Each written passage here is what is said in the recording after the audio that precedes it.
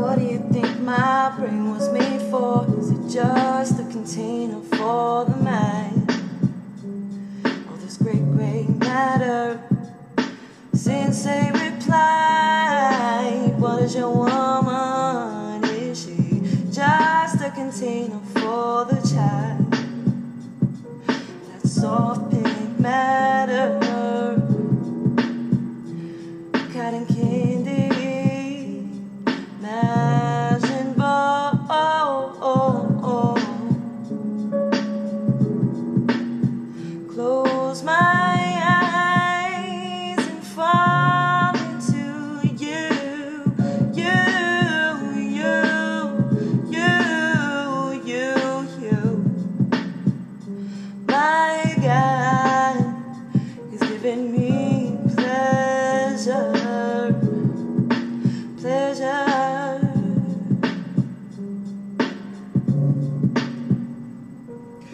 What if the sky and the stars for show? Aliens are watching light